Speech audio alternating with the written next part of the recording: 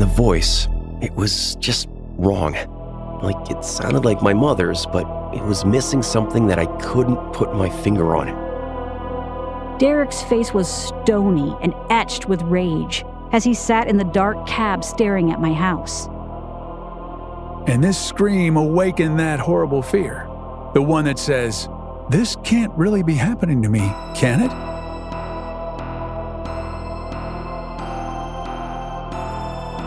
Headphones recommended. Listener discretion advised. Welcome back in, everyone. I'm your host, Chad.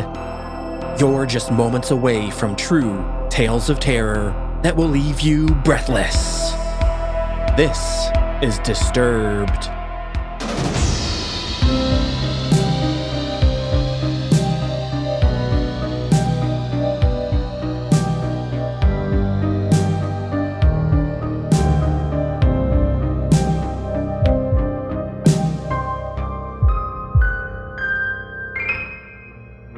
This episode is sponsored by Wondery's Generation Why podcast, where hosts and true crime fanatics Justin and Aaron explore hundreds of unsolved murders and conspiracy theories. If you're ready to kick your true crime obsession into overdrive, subscribe to Wondery's The Generation Why podcast on Apple Podcasts, Spotify, or listen ad-free by joining Wondery Plus in the Wondery app.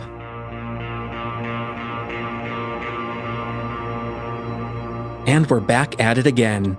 One quick thing we just dropped a brand new bonus episode on Patreon. Real disturbing 911 calls that you won't believe. So go get your access at disturbedpodcast.com slash support. Now let's get into it. In our first experience brought to us by Reddit user Meows and Boo, we discover why you can't always trust what you hear. Performing this experience is Matt Bradford,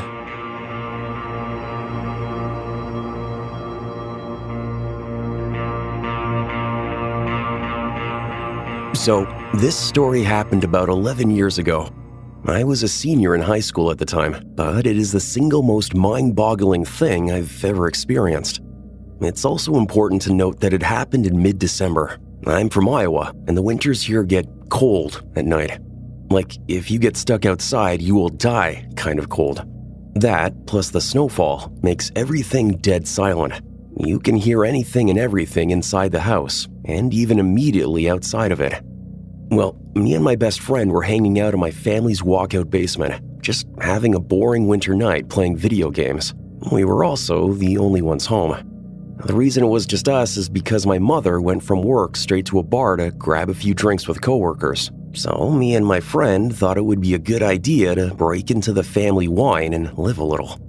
As we were sitting there opening up the first bottle, I hear the door to the garage open and slam shut. I immediately go, oh shit, and start looking for places to hide the bottle. My friend then says, I thought you said your mom was supposed to be out all night. She was, I replied.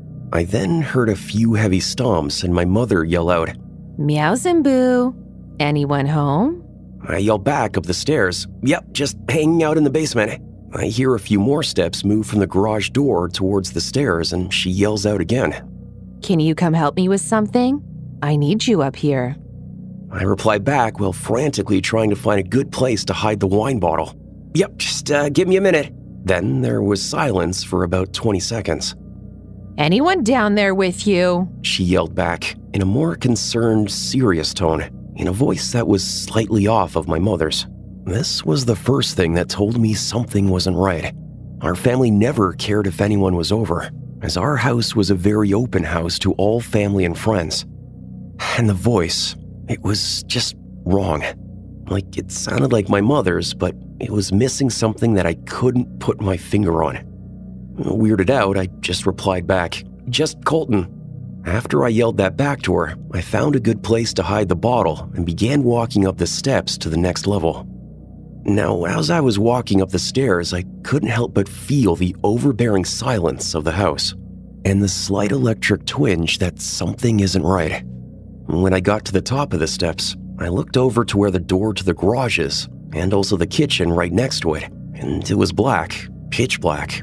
All of the lights were off, and there was no moonlight shining through any windows. I walked over to the kitchen, yelling out, Mom, where are you? There was no reply, just silence and darkness. I felt the electric twinge turn into full needles and my adrenaline kicking in full force. I have to get out of here as fast as possible. My mother was not home. I run back down the stairs, grabbing my coat along the way. What's wrong? Colton says. My mom's not home. I reply as fast as I can, looking for my truck keys. What do you mean? You were just talking with her. I could see the confusion in his face. Dude, there's no one home. We need to leave now. I took a few steps towards the back door that opens up to the yard, and then I see my dog shaking on the couch and my cat growling behind it. I couldn't leave them. I just knew that if we left, something would happen. Are we leaving? Colton said, still confused as hell. No, I, I can't leave them here alone. Something is really off. I'm gonna call my mom and figure this out. I pull up my phone and called my mom. She picked up immediately. Boo? What's going on? She answers. Mom, were you just home? I heard you yelling from the second level, and when I went up, you weren't there. I said frantically, hoping that she was playing a joke. No, I'm just leaving the bar. I wasn't feeling very well. Are you okay? What do you mean you heard me? I filled her in on the whole story, and she rushed home. Colton and I stayed in the basement with the animals until she got home. But before she did, you could hear something upstairs. Not walking or sitting on things, but a pressure in the air like a black hole was slowly moving from one room to the next, and the word that I would instinctively describe it as is hungry. When she got home, you could feel the thing leave just as quickly as it came, like an overbearing predatory presence had just flown away. And we still have never figured out what the hell was going on, and this is just one story of many unexplainable things that have happened to us. But this is the easiest to write down, and the one I was happiest to have a witness. My mother has passed away now, and I've moved to Arizona. But whenever I go back to Iowa and I see Colton, he still gets creeped out by what had happened. I will never truly know what happened, but I know that whatever it was, it had my mother's voice. It was evil, and it was hungry.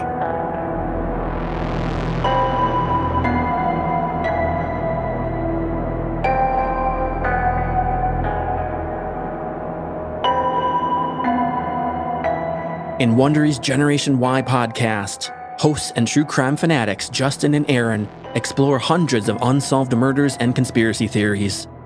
They dig through the evidence, give their perspective, and bring the hard questions.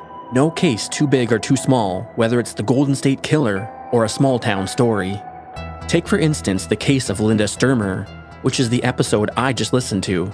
In 2007, a fire broke out at the family home, and Linda's husband Todd was found dead on the lawn. Justin and Aaron take you through the entire case point by point, breaking it down in an easy to understand style, which is why I love the show so much.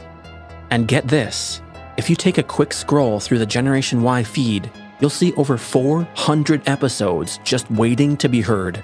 That's why I subscribed, and you should too. If you're ready to kick your true crime obsession into overdrive, subscribe to Wondery's The Generation Why podcast on Apple Podcasts, Spotify, or listen ad-free by joining Wondery Plus in the Wondery app. Wondery, feel the story. Next up, a Tinder experience from Reddit user Yeast Crease that she won't be forgetting anytime soon. Performing this experience is Erin Lillis.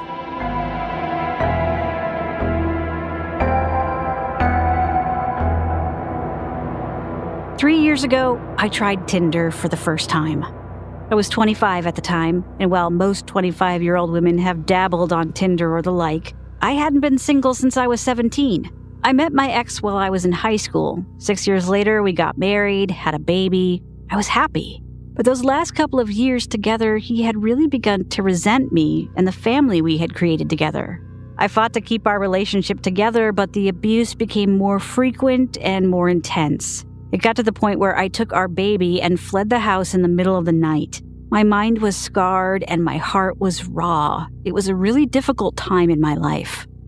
A couple of months after I left, I had a new home, a new job, and a renewed sense of life. I was starting to open up and could feel myself healing. I was, however, lonely. I was adjusting to shared custody and spent my weekends alone. I didn't want to jump into a relationship, but I did want to experience some of the things my eight year relationship hadn't allowed me. Joining Tinder felt fun. It was new and scary, and after so much trauma, it felt nice to have so much positive attention. My self worth was low, so the cheap compliments and instant gratification of the app felt incredible. Who am I to deserve their attention? Why would they choose to speak to me of all women? Not my healthiest coping mechanism, but I wanted to feel desirable. That's when I met Derek. Derek was an unassuming, average guy. He was cute enough, but not so attractive that I felt self conscious. Derek and I shared a few interests craft beer, hiking, and he had a sense of humor that I liked. We agreed to meet up at a local restaurant. I was so nervous. My first date in eight years. I donned my cutest dress, got made up, and headed out. As I waited in the restaurant, my palms were sweaty, my heart was fluttering, and I began to question myself. He arrived, and everything was awkward at first. We ordered our first beers and started to break the ice. As soon as the buzz of the alcohol began to hit, our conversation took off. We had relaxed in each other's company, and the rest of the date went smoothly.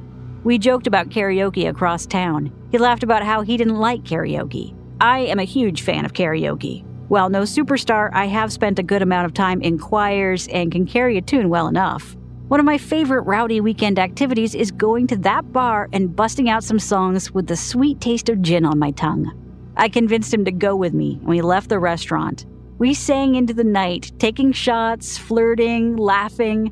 We ended the night in his truck, clumsily fumbling with each other's buttons and zippers, hearts racing with excitement. This had been what I needed. We texted back and forth more often, and soon we were talking about another date. I had enjoyed our time together and liked that I didn't feel a deep connection with him. It was fun, and that was it. Because my heart wasn't tangled up in feelings, he felt safe.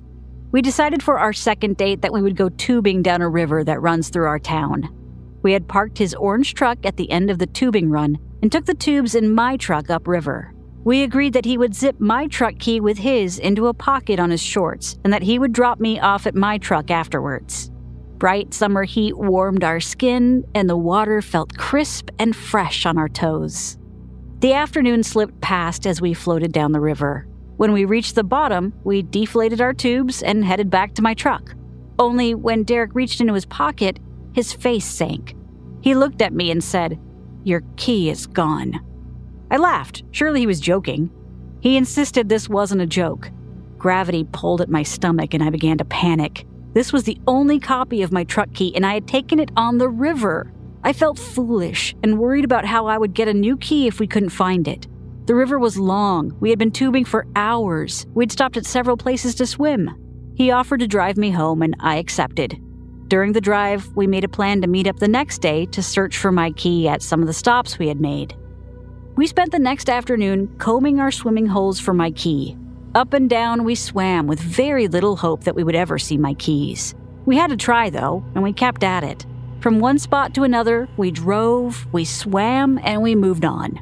At the very last place we checked, as the light of afternoon faded into a hazy orange, something caught his eye. Underwater, near the shore, were my keys. We were elated and could not believe our luck. To celebrate, we went back to his place for some drinks. He drove me down a long wooded driveway, and at the very end was a shaded trailer. He told me that he was only renting a room here from an elderly couple, but they were on vacation, so we would be alone. We walked over the creaking porch and entered the trailer. Inside, I could see the kitchen was messy. Not just a couple of dishes, but every surface was covered with mess. He ushered me away to show me his room. It was small and not very clean either dirty clothes, mattress on the floor, a Rubbermaid bin with some snacks like Doritos, and cheap, warm beer. We had sex, the yellowed light of the trailer accentuating the stains on the walls. Afterwards, the spark of fun I had felt when we first met had withered, and I felt gross. I decided that it would be our last date. A week passed, and we hardly texted. Our brief fling was ending, and I didn't expect to see him again. My mind moved on to other things. The coming weekend, my friends were coming to town and I was excited. We made plans to go to karaoke together on Saturday night. When the day arrived, I was surprised to see a text from Derek on my phone. Are you going to karaoke tonight? It read. I responded that I was, and he texted back that he would be there. I thought you didn't like karaoke, I asked him, and he said that he had been invited by a girl he worked with and thought he should give me a heads up that he would be there with a date in case I was there. I thanked him for taking the time to let me know, reassured him that I wouldn't be bothered at all, and said that I hoped he had a great date. Around 9:30 that night, my friends and I arrived at the bar. The dim lights and reflective foil stars an all too familiar scene. We got our drinks and picked a booth with a good view of the stage. I had a strange sensation, like someone was watching me. I turned my head, scanning the bar, and our eyes locked. Derek and his date were a few booths away, and he was watching us. He waved zealously with a big smile. His date turned around to look, and I managed an awkward wave. I was absolutely fine with him being on a date, but I didn't want to advertise that we knew each other or make his date uncomfortable. My friends were all aware of the time we had spent together, my thoughts on the experience, and the texts he had sent me earlier. We were all thinking it was a bit odd that he would go out of his way to interact with me in front of his date, but no harm, no foul, he was just being friendly. The evening carried on, and we all had a great time basking in the atmosphere, drinking in the songs and laughter. A couple of hours in, we were sitting in our booth when Derek stumbled over to our table with his date.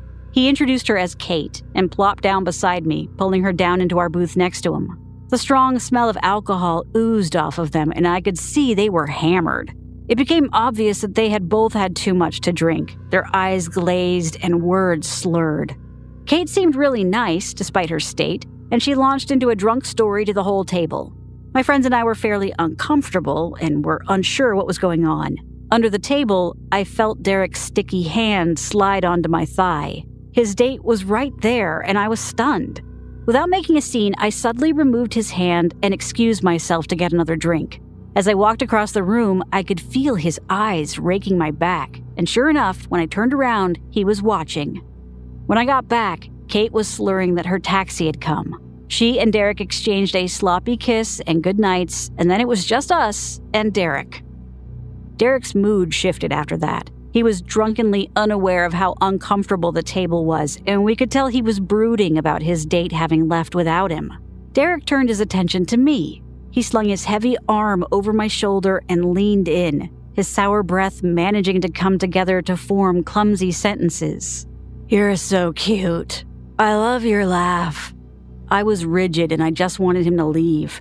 When he got up to get another beer, my friends and I spoke about the situation, one of them remarking, You know you can do better than this, right? I said that yes, as casual as this had been, I had made a mistake. We came to the conclusion it would be best if we ended the night early, as we didn't see him leaving me alone. As a backup plan, if anything went south, we agreed that the girls would go to the bathroom and leave out the back door, while our male friend would distract him and slip away. Derek arrived back at the table, sloshing his beer onto his front. He slurred, Where are we going next? I hesitated, but my friend told him that we would all be going home. Derek said he would walk us there, and we politely declined. He was leaning up against a wall and barely holding himself up at this point. We asked him how he was going to get home and if we could call him a cab. Derek drunkenly pouted that he could just come to my place with me. Trying to shut him down as politely as I could, I told him that my child was there with a sitter, so I couldn't have him over. He didn't need to know that wasn't true. He refused a taxi and said he would just sleep in his truck. Since his eyelids were drooping and looking at the rest of his state, it seemed reasonable that he would be able to fall asleep in his truck, and we accepted that answer. As we started to leave, he stumbled after us. We stopped and reminded him that we were going to bed. He argued again that he should come with me. My friends and I locked eyes. It was time to engage with our backup plan. The two girls and I excused ourselves to the washroom while our friend distracted him. Slipping out the back door, the cool rush of night air hit us, and we hurried to the path that led to their hotel. Our friend caught up with us and said he had left Derek behind at the bar. We were all relieved to be out of there and started to walk back to their hotel. One of the girls was sober and offered to drive me home when we got to the hotel, and I accepted. A few minutes down the path, my phone began to ring. I looked at the caller ID and felt my stomach drop. It was Derek. I turned the volume down and let it ring, and to my surprise, he left a voicemail. I turned on the speaker and played it out loud. Derek's voice sounded confused as his words melted together into the phone. Where are you guys? I thought we were gonna hang out. I don't understand. We were all glad we had left and agreed that this had been wild. That's when the phone rang again. Another voicemail popped up on my screen. In the dim light of the trail, I played the new voicemail aloud once more. His drunken speech was more intense this time, as he launched into how he didn't understand why I had left. I had hurt his feelings, and he was in love with me. The tone of his voice shook me when I heard him say, I love you. There was something dark and heavy about it that left me feeling unsettled. We were all creeped out, but happy to see the bright sign of the hotel ahead. We traveled the carpeted hallway to their room so my friend could grab her keys to take me home. As we entered the room, my phone began to ring again. This time, the voicemail sent shockwaves of fear through my body. Derek's voice had taken on an edge as he repeated that he loved me, but he was actually really fucking mad at me for leaving him at the bar. He went on about how could I do that to him. He didn't know what he was going to do. His voice shook with anger as he stumbled over himself, expressing how I had betrayed him. The last thing he said before hanging up echoed in the hotel room. You know, I'm really starting to fucking hate you. This guy was unhinged, and I was terrified. I was grateful this side of Derek hadn't shown up when we were alone in his secluded trailer. My friends gave me a hug and told me to call them if I needed anything and to keep them updated. My friend took me home, and as I unlocked the door and stepped into the comfort of home, I felt exhausted. It had not been the night out I expected, and Derek's erratic behavior had really freaked me out. Fresh out of an abusive relationship, his actions at the bar, then the voicemails, rang some all too familiar bells. That's when I saw the headlights. It was very late for anyone to be driving down my street. I peeked through the curtain. My blood ran cold and I trembled. Sitting in the cab of his orange truck was Derek. Mind racing, I panicked. This dude could barely hold himself up when we left. He was blackout obliterated. How did he drive across town to my house? How did he find me? I immediately remembered the other week when he dropped me off after my key was lost. How could I have been so stupid? I barely knew him. We had only met three times. Derek's face was stony and etched with rage as he sat in the dark cab staring at my house. He wasn't getting out, he was just staring while I was on my hands and knees peeking out the window. All the lights were off inside. I was sure he couldn't see me. Then the screen on my phone lit up. He was calling me again. I quickly hid it so he wouldn't see the light. Hands shaking, I played the voicemail as quietly as I could. Derek only said one thing this time a phrase that sent terror shooting down my spine. In a drunken, sing song voice, almost taunting me, he quietly said, Where are you? Click. I was terrified. Somehow, I hadn't really considered I could be in danger and chalked up all the fear to my past experiences. Surely I was overreacting and it was my fault for reading too much into this. I shouldn't be this scared, and I don't want to make a scene. That last voicemail sealed the deal. I figured even if I was overreacting, at the very least, he was a drunk driver. I called 911 and the dispatcher said someone would be there in a couple of minutes. As I peeked out the window, I saw him get out of his truck. He was done waiting. His heavy feet stumbled as they hit the pavement, and he looked around. Derek's voice cut through the night. He started yelling my name. The wild anger in his voice was tangible through the walls, and he just yelled into the street, Where are you? Derek started to stumble towards my house when the flashing red and blue lights cascaded down the street, lighting up his face and highlighting every ounce of rage carved into his features. Two police cars pulled up, and the officers got out. I was still peeking out from inside my dark house and couldn't hear much of what was happening. I watched them breathalyze him, which he obviously failed. The officers inspected his truck. They all spoke for a while, and one of the officers came to my door. I spoke to him about what had happened, and he was very empathetic. He said, as unsettling as his actions had been, there wasn't much they could do without a direct threat. The officer let me know that they would be taking him in for the night and he would be charged with drunk driving, but that he would be out tomorrow and to make sure I kept my doors locked and stayed safe. The tow truck came to remove his orange truck from the road, and I could see him arguing. The officers weren't having any of it, and they turned him around to cuff him. As the handcuffs locked around his wrist, he yelled out one last time, looking directly at the window I was peeking out. I know you're in there. Why don't you come out to say goodnight? As quickly as my street had filled up, it was empty. The quiet shadows of late night swallowing the earlier chaos into nothingness. Derek texted me the next afternoon. I'm very sorry about last night. I was in a bad place. I responded that his actions were unacceptable and how dare he show up at the house my child lives at, and that I would prefer not to hear from him again. He apologized one last time, and I haven't heard from him since. Over the next few months, I would see him on a bike going to and from his workplace, so I know he lost his license.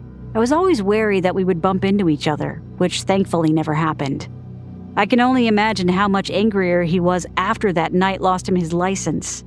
I found out that he moved to the mainland a while back, which was quite a relief for me, and I no longer feel as on edge around town.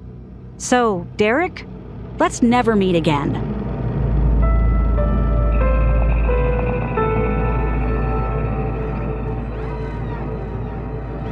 And finally, our title story coming from Reddit user Great Buildings.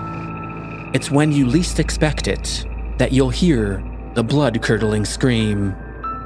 And join me in welcoming our newest guest narrator to the show, the host of Podcast Magazine's Hot 50 Countdown, Rob Actis.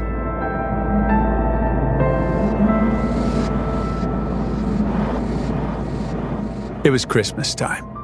My wife and I were staying at her childhood home where her mother now lived all alone. Well, not if you include the cats. Meow. The house was on a quiet cul de sac in the suburbs. If you're picturing freshly mowed lawns, American flags, and empty sidewalks, you're picturing it right. It's a single story home with an attached garage out front. The garage has two doorways, apart from the electric garage door, of course. One leads to the garden and backyard. This had an old doggy door from their days with dear old Max. R.I.P. Max. That they covered with a piece of nailed in wood. That had always made me slightly uncomfortable before. But I figured it had been that way for years, so what's the worst that could happen? The second door leads to the kitchen. Hollow core. It could stop a mouse, but not much else. Definitely not something that wandered in or someone. We were asleep in my wife's childhood bedroom at the front of the house. 3 a.m. I was in that deep, dark recess of sleep. You know, you're in the diving bell and you're submerged hundreds of meters below the surface in black water, protected from the real world by miles of nothingness. Then I heard it the scream. What are you doing? It was my mother in law's voice echoing down the hallway. To me, lost in a sea of sleep, it sounded like a jet engine roaring past my eardrum. I bolted up. What happened next happened in a matter of seconds. But about that scream, even though I was dead asleep, I heard enough of it to sense an urgency behind it. This wasn't a, oh, you scared me type of scream. This was different. And I knew it. Not consciously, but my lizard brain, that piece we retained from our primitive ancestors, knew something was wrong. I watch and read a fair amount of true crime, and this scream awakened that horrible fear. The one that says, This can't really be happening to me, can it? Honestly, in that second of the night, it sounded like someone was about to be murdered. You ever wonder if you're a fight or flight type of individual? I always have, and I came to know something about myself after this night. I'm a fighter. I leaped out of bed, growled, yes, growled, in the manliest voice I could muster. I'm gonna kill you, motherfucker! And took off running. I tore open the bedroom door and ran into the hallway. There at the end, I saw my mother in law, nightgown on, look of utter shock on her face, standing still. We make eye contact as I continue toward her. Then she turns her head, looks directly into the kitchen. I hurry past her and round the corner into the kitchen. The hollow core door is obliterated, shards everywhere. I look through the open frame and see the electric garage door is open. I push ahead. As I run into the garage, I hear it the sound of someone hopping into a running car just out of view. Just as I make it onto the driveway, I see a car peeling out from the sidewalk adjacent to the house. But the adrenaline is still pumping, and who am I to say no to adrenaline? So, like an idiot, I run. Barefoot, after the car. I give a good go, but I'm no Michael Johnson, and even he couldn't catch a speeding car. It soon vanishes down the street, and I'm left all alone. The police showed up within three minutes, which I have to say makes me feel a lot more at ease with my mother in law living there. They took our statements. My mother in law said she heard a noise the hollow core door being kicked in and walked into the kitchen where she encountered the burglar, a small framed woman. The police theorized she was working as part of a team. Her job was to squeeze through the doggy door and open the electric garage door for her accomplice. According to the police, the burglars most likely thought nobody was home. Fortunately, my mother in law must have caught her off guard and scared her. In addition to my manly growl, of course. But it feels good to know that everyone was safe. And to learn that I guess I've got a little fight in me. And, for the record, we bought the heaviest goddamn wooden door you've ever seen to replace that hollow core. I'd like to see a mouse try and get through that. And as we do before we go, let's take a listener voicemail off the horror hotline 701 354 3667. Hey, I'm a truck driver from Red Deer, and I just wanted to say you got the best horror stories I've heard so far on the Spotify podcast, and they're really cool to listen to because I'm on the road pretty much every day doing 14 hour trips. So it's really nice to have something to listen to while I'm trucking down the road. Thank you. Keep it up. Bye. Thanks for the message, and let's give a shout out to all our listeners out there on the road. Nothing like some true scary stories to help out with that windshield time. Disturbed is a Disturbed Media original podcast.